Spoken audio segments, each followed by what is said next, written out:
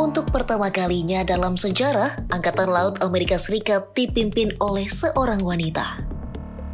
Inilah sosok Lisa Franchetti, yang ditunjuk oleh Joe Biden untuk menjadi Kepala Angkatan Laut Amerika Serikat.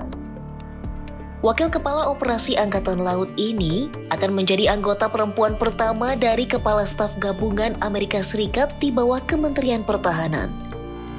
Namun, keputusan Presiden Amerika Serikat Joe Biden bukan tanpa kontroversi.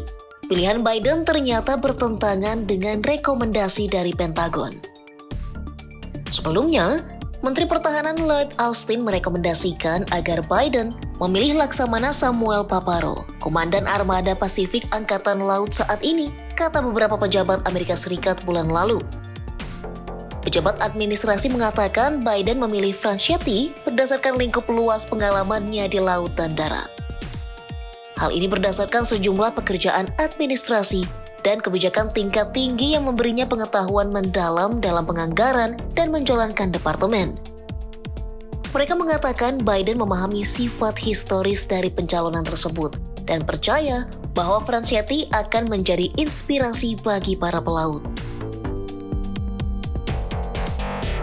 Well, I think, again, exercises like this gives us the opportunity to work together and have the chance to develop our interoperability so when we can cooperate uh, together at sea.